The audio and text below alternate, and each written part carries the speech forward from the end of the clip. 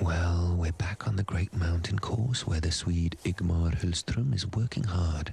He has made no errors in the first round and he must repeat the performance. The Frenchman is close behind him. Yes, very good move from the Swede. But watch out, the Russian York chef is always round for the big moments. Oh, what a mess. Fortunately, the German Friegel is here with his singular technique.